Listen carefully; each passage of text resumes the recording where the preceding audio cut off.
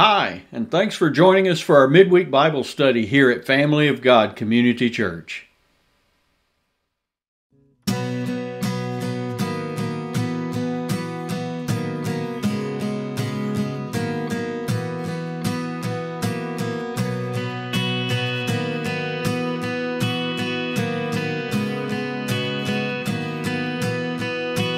And I hear the Savior say, Thy strength indeed is small. Child of weakness, watch and pray. Find in me thine all in all. Cause Jesus paid it all. All to him I owe. Sin had left a crimson stain. He it white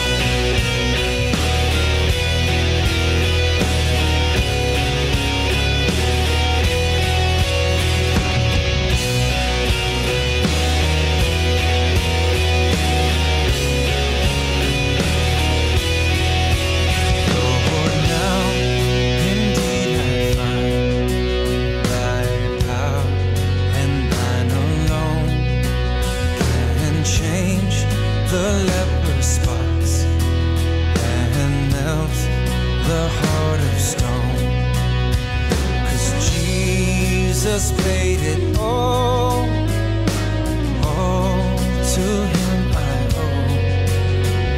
Sin had left a crimson stain.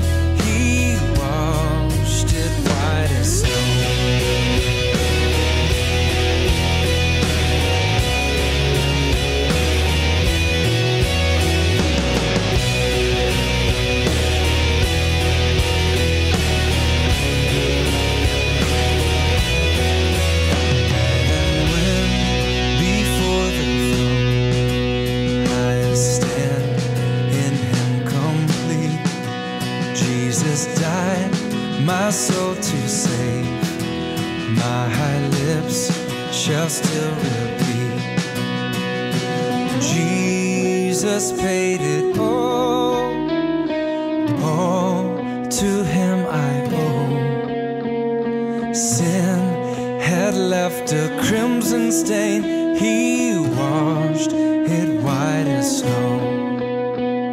Sin had left a crimson stain. He washed it white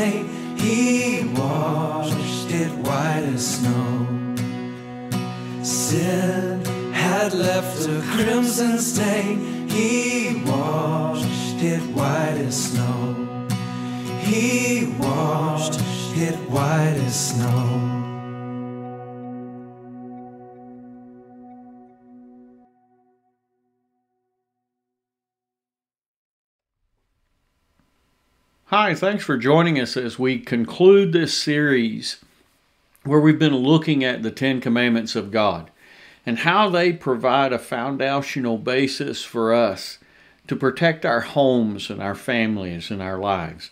That's why we call this Homeland Security. Tonight we look at the last of these Ten Commandments learning to be content. Let's pray together.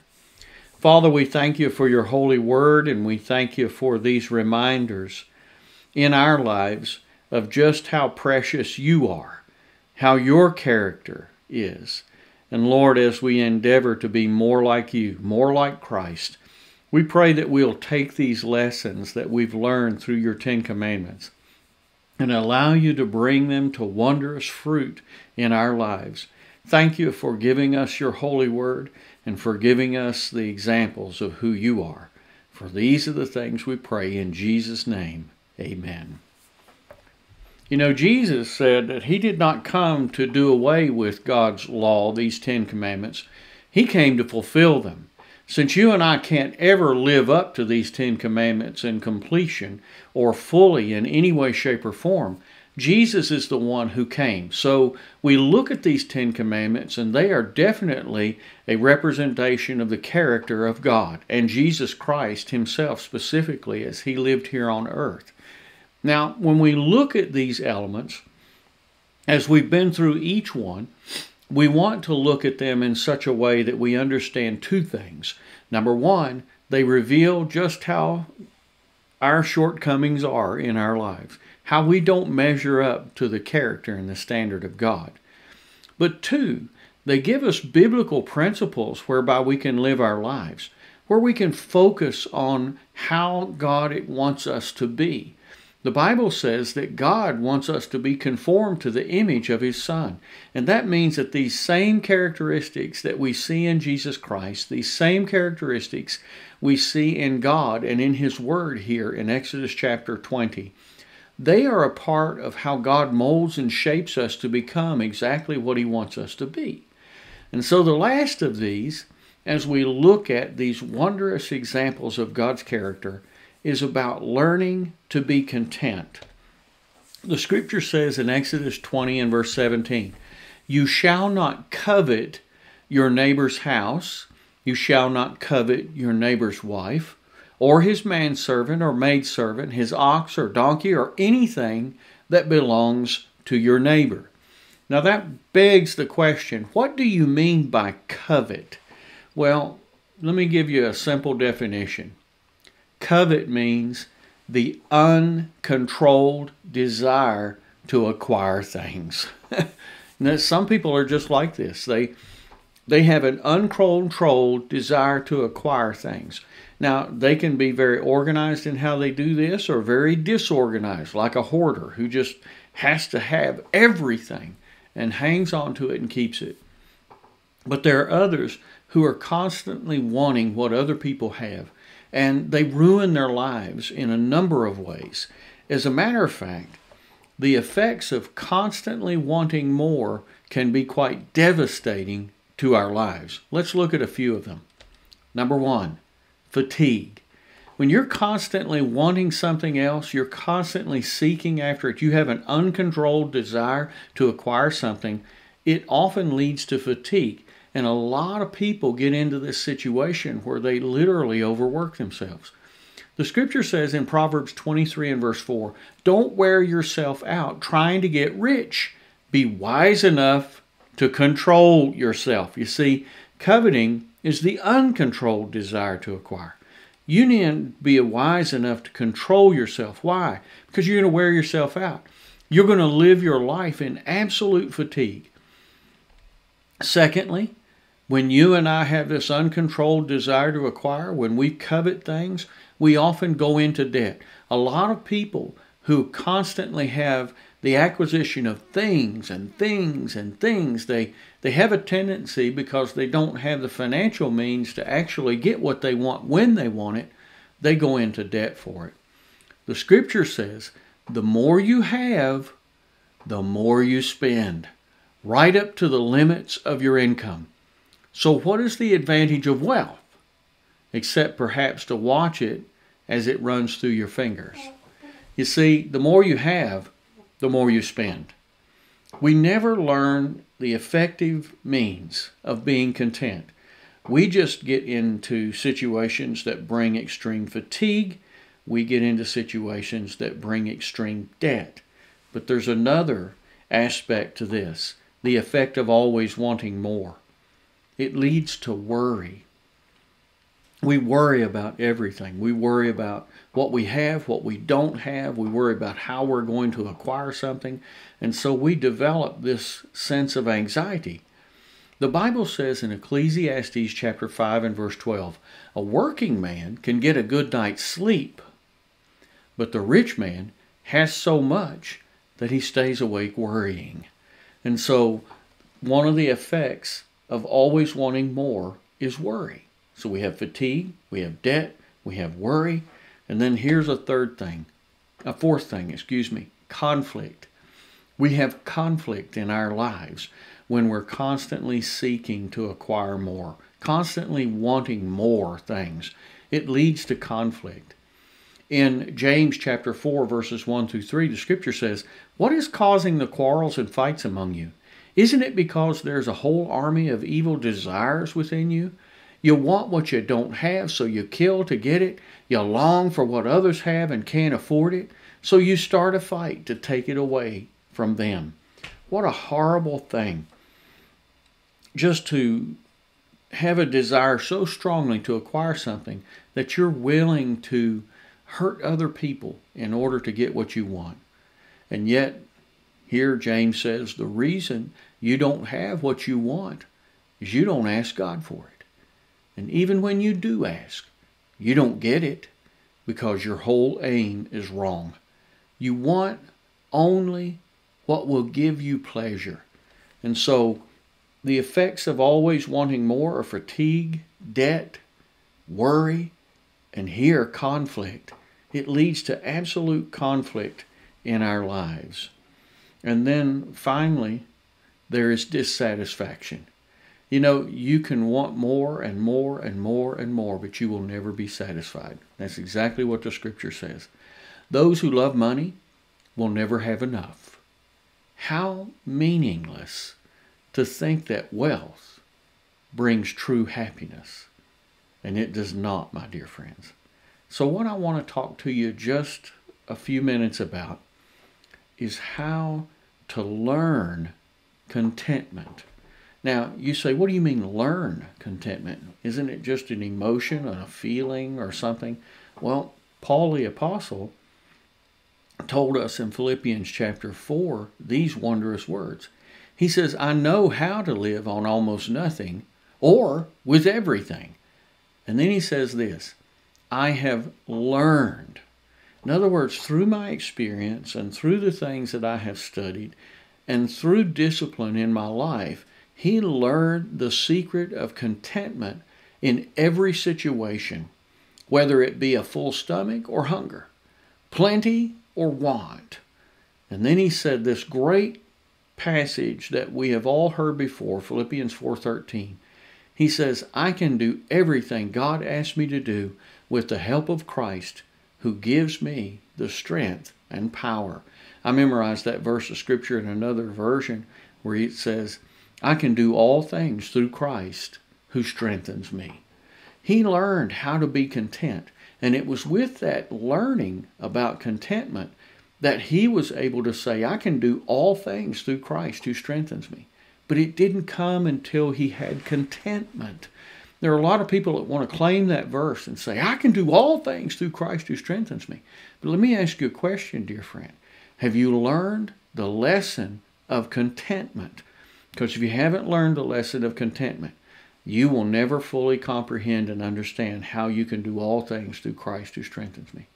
Paul said, I've learned in whatever circumstance I'm in, I can be in prison or I can be free, I can be wealthy or I can be dirt poor, I can be eating a great meal or I can be hungry and not have any means to even purchase a meal. I can be in all of those situations and I can do all things through Christ who strengthens me. Why? Because I have learned the secret of contentment in every situation. You see, that's the key. And so, with that in mind, let me give you just a few pointers, some things that you and I can do that will help us learn contentment. Number one, resist comparing myself to others. The very nature of covetousness is that it is a desire to want your neighbor's house, your neighbor's wife, your neighbor's servants, your neighbor's things, uh, everything that belongs to your neighbor. In other words, you're comparing yourself to others. We used to have this ideology when I was a young man growing up in the 60s, a young boy actually, and you would hear it said, let's keep up with the Joneses. Well, that mentality led to a severe indebtedness in our society. It led to fatigue, debt, worry, conflict, and dissatisfaction, keeping up with the Joneses. Now, keeping up with the Joneses was nothing other than covetousness, a lack of contentment. You and I, if we're going to be happy and fruitful and learn how to rest in God, we need to resist comparing ourselves to others. Here in this passage in Galatians 6, verses 4 and 5, the scripture says, Make a careful exploration of who you are and the work you have been given, and then sink yourself into that. Don't be impressed with yourself. Don't compare yourself with others. Each of you must take responsibility for doing the creative best that you can with your own life. Don't get all caught up being impressed with yourself, but worse, don't compare yourself with others. You need to just be uh, content in what God has blessed you with and what He has given you. You need to look at that and sink your life into that. Make sure that you resist comparing yourself to others. You're unique. You are different. You don't have to be like them. What you need to be is what God created you to be. Here's the second thing rejoice in what you do have. You need to rejoice in what God has blessed you with. You look around and, and think about the things that God has blessed you with. Do you have a family that loves you? Do you have a job? Are you able to work? Do you have a measure of health? Do you still have your faculties about you and you can think? You know, uh, just a lot of simple things we need to learn to be thankful for. When I was growing up, we used to sing that hymn in church Count your blessings, name them one by one. Count your blessings, see what God has done. You and I need to learn to rejoice in, in what we do have. Here the scripture says, It is better to be satisfied with what you have than to be always wanting something else. And all God's people said, Amen. We need to be satisfied with what we have. The Bible says further in Ecclesiastes chapter 5 verse 19, if God gives us wealth and property and lets us enjoy them, we should be grateful and enjoy what we have worked for. And then he adds this final statement. It is a gift from God. When you rejoice in what you have, you are looking at what God has blessed you with. You understand this is a gift from God that I have even its material possessions. These are things that God has blessed you with. And when you begin to rejoice in that, your life begins to take on that measure of contentment. You're learning contentment. But yet, if you constantly are seeking others, you're going to hurt not just yourself, but all those around you. In this passage in Proverbs 15, verse 27, it says, Greed brings grief to the whole family. How many times have I seen this happen? It destroys marriages, it destroys families, it that fatigue, debt, worry, conflict, dissatisfaction in the home will literally destroy those that you love the most. So rejoice in what you have and stop focusing on what you don't have. Resist comparing yourself to others and just be what God created you to be. Number three, release what I have to help others. You know, God blessed you and He has given you these wonderful things, and as you rejoice in them, you need to begin to release what you have to help others. Uh, we encourage tithing in our church, and, and much of that money that we receive, it goes to mission endeavors, it goes to reach other people for Christ, it goes to the proclamation of the gospel. Uh, but we also have benevolent needs that are always there. uh, the people in our community and in our church that are struggling. You know, something in their life has happened and it's put them in a position where they need help, whether it be with food or with a utility bill or gasoline for their car to be able to get back and forth to work. Um, we have uh, ministry in place to deal with those things, but we depend on the gifts of God's people. The Bible tells us we need to be careful about that. In 1 Timothy chapter 6, verses 17 and 18, uh, Paul had instructed young Timothy, who was the pastor of the church at Ephesus, and they had quite a number of believers there who were extremely wealthy. And so he had a, a word of advice for them. He said, Tell those who are rich not to be proud and not to trust in their money, which will soon be gone. But their pride and trust should be in the living God who always richly gives us all that we need for our enjoyment. God doesn't expect you to take away from what He has given you for your enjoyment, but He says this Tell them to use their money for good. They should be rich in good works and should give happily to those in need, always being ready to share with others whatever God has given them. Uh, my grandfather was always a generous man. My father is a generous man. And I like to think that I am a generous man too. There have been times I've been out and I've seen someone who were counting their pennies. I remember sitting in the uh, Cracker Barrel getting a quick lunch one day, and I saw this lady sitting over there.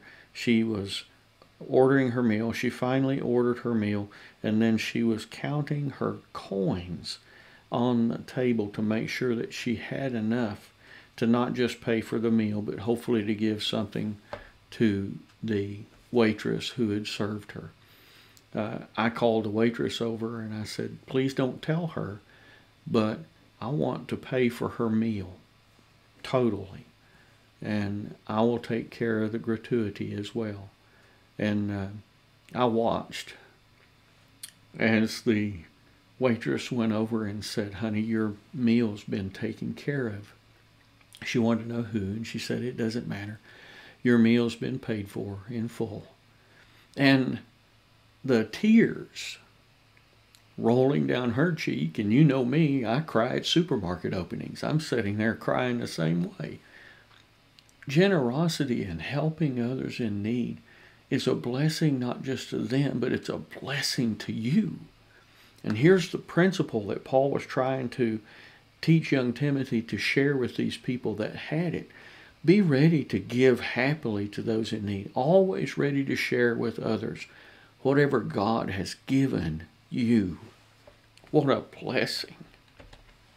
In this passage in Acts chapter 20 and verse 35, uh, the apostle says, I have been a constant example of how you can help those in need by working hard.